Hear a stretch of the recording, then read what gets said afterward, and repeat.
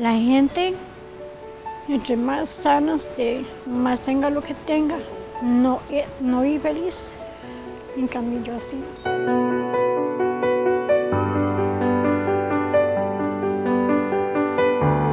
Mi nombre es Laura, tengo 32 años y vivo en, en Cocorín.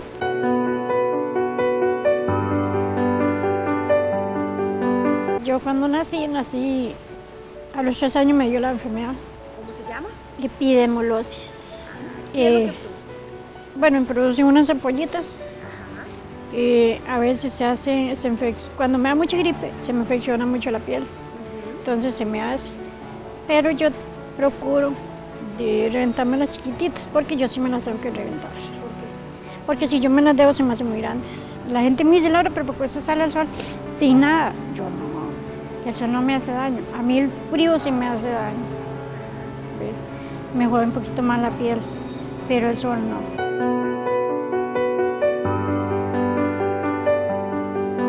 Cuando yo soy pequeña yo no pude ir a la escuela porque me salían tantas que yo no podía caminar y los chiquitos de la escuela me discriminaban porque mi hermana, la que la sigo yo, ella sí iba a la escuela y la maestra le dice a mi mamá, ¿por qué no la lleva a la escuela?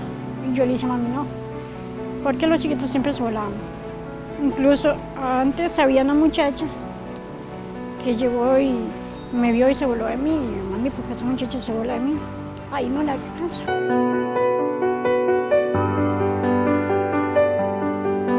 Pero si sabe leer y escribir. Leer sí, escribir no. ¿Ha pensado ir a la casa de la mujer? Le estuve yendo, pero una vez había una maestra y yo le dije, maestra, vea, yo no entiendo eso. Y ella me dice, déjelo así. Entonces yo, ¿por qué estoy aprendiendo así?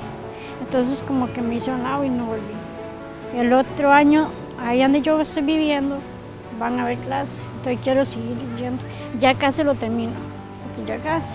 Pero era que el estudio no ha sido un impedimento para mí, porque gracias a Dios he salido adelante.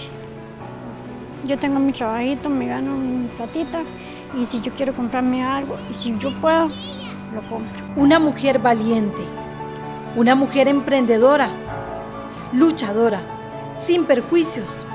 Así es ella. Yo soy muy feliz porque el tiempo pasa. Hay que ver el hoy, no el ayer ni el mañana.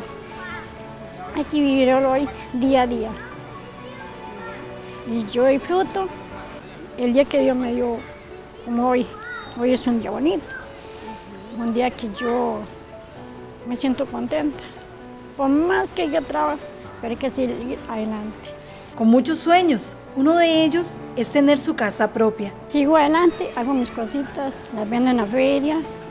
Eh, eh, mi hermana va a Buenos Aires, entonces yo hay veces yo voy a Buenos Aires y también las vendo.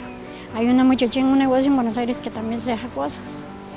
Y, y voy vendiendo poco a poco las cosas. Yo sí le agradezco a la gente que llega al, al puestito mío y me compra el producto que yo hago. Su familia es su pilar. Que cuiden mucho a los papás. ¿Te cuenta con el apoyo de sus papás? Yo no tengo papá.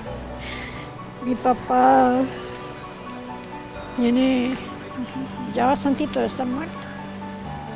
Él no estuvo conmigo. Él, cuando yo tenía nueve años, se fue a la casa.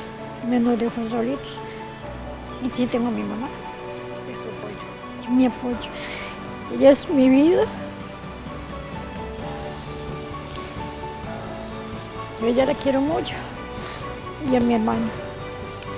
Porque ellas siempre están ahí para ayudarme.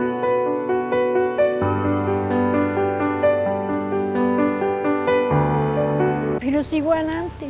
Tita, porque ¿qué hago yo como que amo en la casa encerrada? Porque la gente me y porque la gente me vea así. Yo no tengo culpa. Yo me siento contenta por lo- como yo soy. Y saliré adelante. Y mi mayor sueño es ese. Tener mi casita propia.